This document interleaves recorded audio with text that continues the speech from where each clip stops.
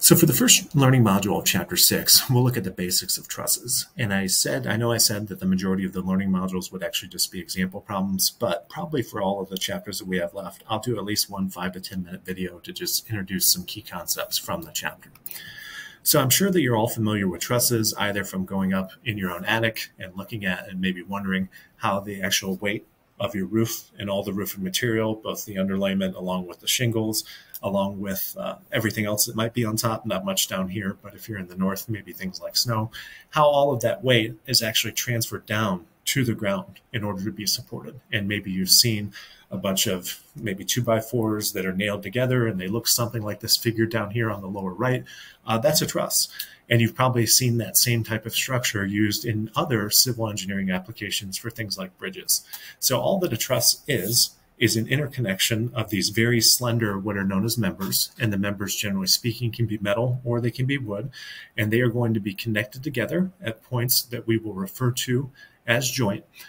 And what the book means by slender is that we can actually ignore the width of these members. We're only going to be concerned about their length from an analysis point of view. And the key thing you need to know is when these are deployed in the real world, in civil engineering applications like roofs or bridges, you have additional structural elements that will actually serve to transfer the load to the joints of the trusses. So here in the upper right, you see for a roof type application, they're referring to this member that runs along the length of the roof as a purlin. And what that is doing is it's taking all of the weight of the roof and transferring it to the joints of the truss. So you, what they're trying to emphasize here is when we do analysis problems in this section, uh, and we have something that looks like the figure in the lower right, that this would actually correspond to a real physical use case where we have a three-dimensional scenario and these trusses uh, kind of sit at cross sections and you have some type of additional structural structural element that's transferring the load to the joints. So uh, one thing to know that's important as well, probably not surprising to you, when you actually have these trusses supported, since they're oftentimes employed in very high loading conditions that are highly variable. Again, think about the snow on the roof example that I did up north. If you think about how much the magnitude of the loading changes between the summer and winter, that just the magnitude of the loading is going to change dramatically. In addition, uh, often maybe down here, maybe more pronounced than up there, you would have environmental conditions that are going to cause expansion and contraction. So you don't want these to be over constrained at their supports. So we will traditionally use or model them in this class as being rocker or roller type connections that are going to give them a little wiggle room as the loading or environmental conditions change.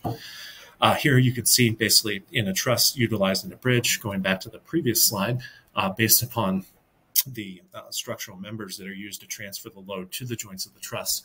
When we talk about a roof truss, traditionally the forces will be applied at the interconnections which are on the top. In a bridge, it actually works the opposite way as these stringers and floor beams transfer the load associated with the asphalt, uh, assuming it's an asphalt road, along with the cars and trucks that drive over to the actual joints. So that's just showing you that although they look the same, the um, kind of way that they're constructed will result in forces being applied to joints on different sides. Roof trusses, the, the forces are typically applied on the joints on the top, and bridge trusses on the bottom, but same thing.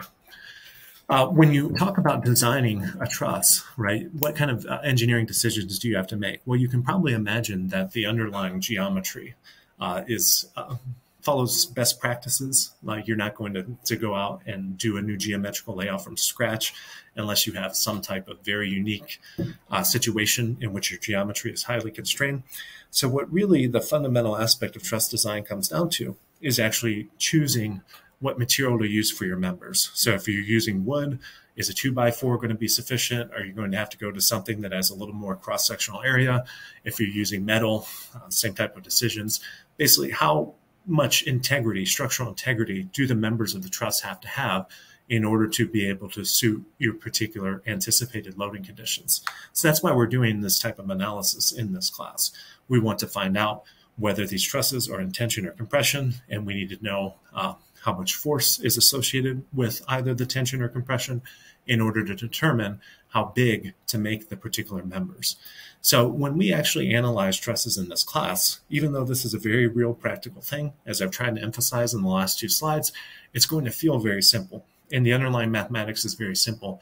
And that comes from the uh, simplifying assumptions that we will use in our analysis.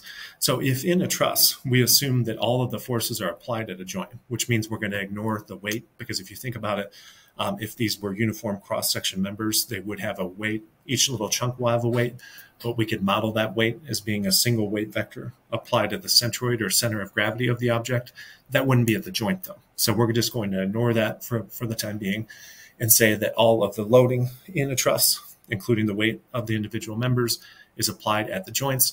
And what that will mean is that at, at each of our joints, uh, looking up here in the right for an actual interconnection that we would see in the real world, something like a gusset plate, if all of the members, the lines of actions, are just axes that you would draw along the center of each, uh, intersect at a given point. That means that the forces are concurrent, so we can kind of go to a particle model, back to what we were talking about in chapter three, and what that will mean is that each of these members is just going to be what we introduced in the last chapter, a two force member. So in order for each, if the entire truss is in equilibrium, each member is in equilibrium. And if each member is a two force member, that means that on each side of the members, we're either pulling in opposite directions, which is the case in the lower left here, where we would say that the member is in tension. Now, remember kind of a lot of the examples that I did earlier in the course when I would draw on the doc cam. If a member is in tension by Newton's third law, that member is actually pulling on the pin. Uh, the alternative scenario would be that the member is in compression, meaning that the pins are pushing down on both sides and tending to compress the member. In that scenario, the member is pushing up on the pin. Remember Newton's third law, equal and opposite reaction forces. So, what is a simple truss? Well, the book just defines a simple truss as anything that you can build up by adding individual members to the basic triangular structure that you see on the right. So, just know that definition when you're reading through. Um, it just basically means something that can be analyzed relatively easily using the two techniques that we're going to discuss uh, in the remaining learning modules.